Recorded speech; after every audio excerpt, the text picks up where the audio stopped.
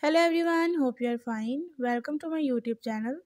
In my today's video, I'll be talking about the USB debugging of your device Vivo V25 Pro.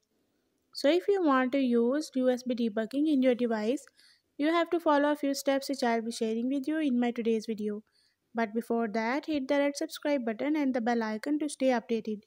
Now watch this complete video and you will learn how to use USB debugging in your device Vivo V25 Pro.